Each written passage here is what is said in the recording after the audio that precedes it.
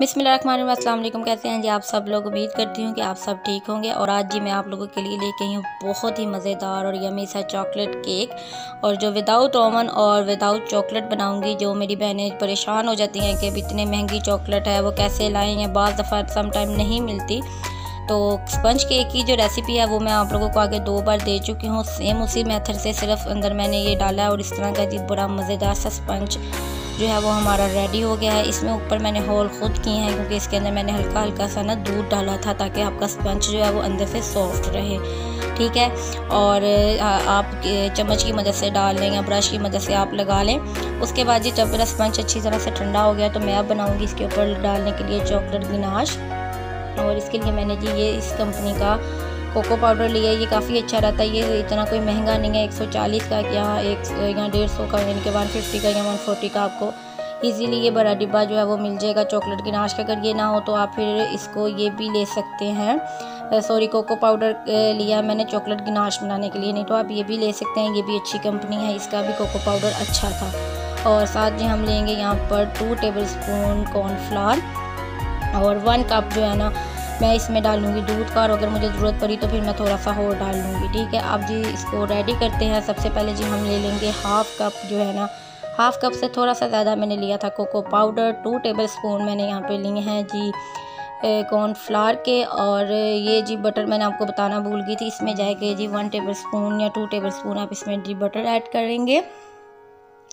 मैंने तकरीबन वन बड़ा जो चम्मच होता है ना, एक चम्मच भर के वो डाला था इसमें बटर का लास्ट में। पहले जी हम कोको पाउडर और जो हमारा कॉर्नफ्लावर है, इसको हम अच्छी तरह से मिक्स कर लेंगे। और मैं जितना हो सकता है, मैं आप लोगों के लिए कुकिंग और बेकिंग को ईजी कर रही हूँ। अगर आज का ब्लॉग आपको अच्छा लगा तो उसको ज़्यादा से ज़्यादा लाइक कीजिएगा। और जिन्होंने अभी तक मेरे चैनल को सब्सक्राइब नहीं किया तो प्लीज़ मेरे चैनल को सब्सक्राइब कर दें लाइक कर दें और शेयर कर दें, क्योंकि मुझे आप लोगों के प्यार और सपोर्ट की बहुत ज़्यादा ज़रूरत है। और यहाँ पर जी पहले मैंने उसको अच्छी तरह से मिक्स कर लिया अब इसके अंदर जाएँगे जी सिक्स से सेवन टेबल स्पून या हाफ़ कप आप कह लें जितना कोको पाउडर का लिया था उतना ही मैंने इसमें चीनी ऐड की है। मेरी चीनी जो है ये ज़रा थोड़ी मोटी थी। चीनी मोटी वाली जो चीनी होती है ना, घर में नॉर्मल यूज़ होती है। तो मैंने ये फाइव से सिक्स टेबल स्पून बस डाल दिया था इसमें, क्योंकि वो इनफ थी, इतना मीठा काफ़ी था। क्योंकि केक भी मीठा था और इसमें भी, और जो मेरा कोको पाउडर था, वो भी मतलब कि मीठा कोको पाउडर था। अनस्वीट कोको पाउडर नहीं था स्वीट कोको पाउडर मैंने यहाँ पर लिया था।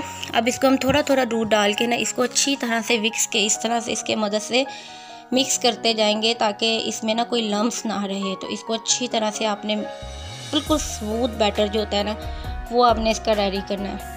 और ये केक बनाने की जो मेन वजह थी, वो थी जी मेरे बेटे की आज थी बर्थडे और मैं उसकी बर्थडे पे ख़ुद केक बनाना चाहती थी। और जैसे कि आपको पता है कि बच्चों को चॉकलेट बहुत ज़्यादा पसंद होती है तो इसलिए जो है वो मैं अब्दुल बासित के लिए स्पेशल जो है वो चॉकलेट गिनाश केक बना रही थी और माशाल्लाह से ये बहुत मज़े का बना था। तो आप लोग भी आई होप इसको इन्जॉय करें और इसको ट्राई लाजमी कीजिएगा चॉकलेट गिनाश केक को।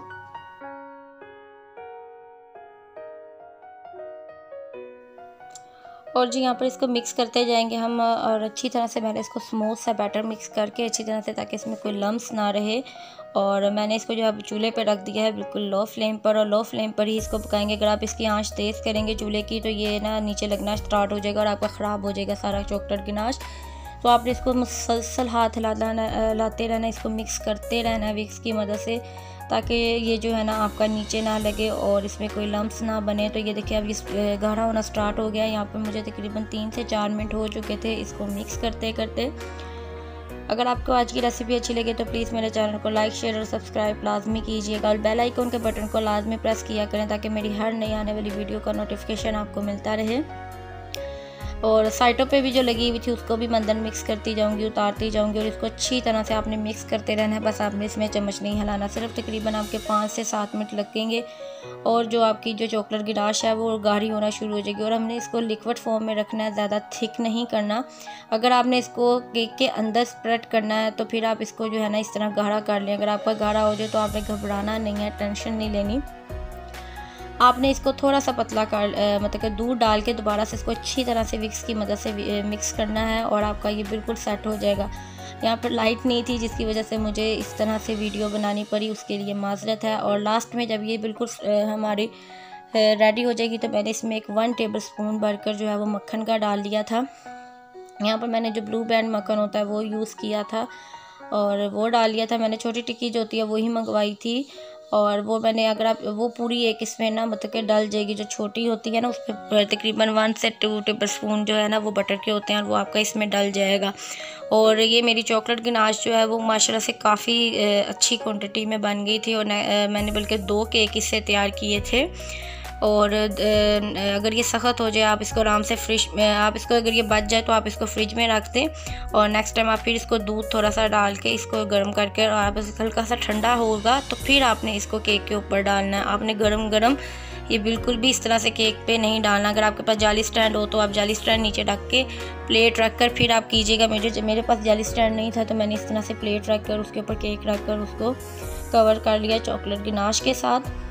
और जी यहाँ पर हमारा मज़ेदार सा यमी सा चॉकलेट की नाश केक तैयार हो गया अगर आप जिस तरह मर्ज़ी चाहें, जो चीज़ें आपके पास अवेलेबल हों, आप उसके साथ डेकोरेशन कर लें। मुझे आलमंड अच्छे लगते हैं चॉकलेट के ऊपर। तो मैंने जी आलमंड इसके ऊपर डाले हैं। आपकी, आप जिस तरह चाहें इसके ऊपर चॉकलेट चिप डाल लें, कोई भी चीज़ डाल दें। बल्कि जब मैंने इसको रेडी कर लिया था तो मेरा बेटा के पास जेली थी तो इसने बहुत ज़्यादा जिद की अब्दुलबास ने कि, मम्मा, इसके ऊपर जेली लगाए, मैंने केक काटना था। आपको पता है, फिर बच्चों की बात माननी पड़ती है। तो फिर मैंने इसके ऊपर जो है वो जाली लगा दी थी। यहाँ पर हमने जो केक वो अब्दुल बासी ने काट लिया था स्लाइस अब उसको मैं दोबारा से कट कर रही हूँ।